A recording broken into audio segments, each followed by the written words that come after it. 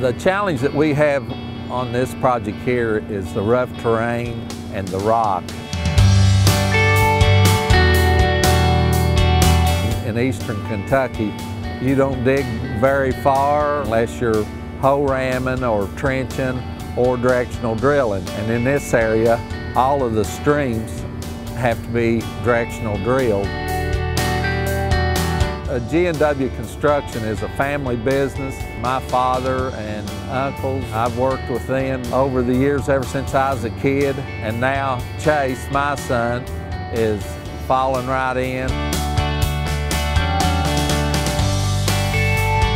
My name is Chase Alderman. I operate the Vermeer 3650DR. It's got plenty of power, good pullback.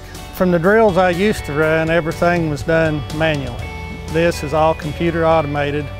Once you get set up drilling, all you have to do is lock the vise, hit one button, it'll change the rod for you, and it's just more comfortable to operate.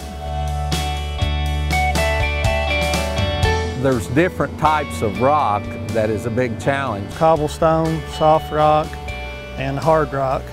The drill, it'll do all of it. So the inner and outer rod with our drill and the steering capabilities of it really really makes this chore a lot easier. We just purchased our DR3650 about three months ago and we absolutely love it. One of the big features and the nice features about this machine is it it will steer. It is a good steering machine. It's got a lot of punch for a, for a small package.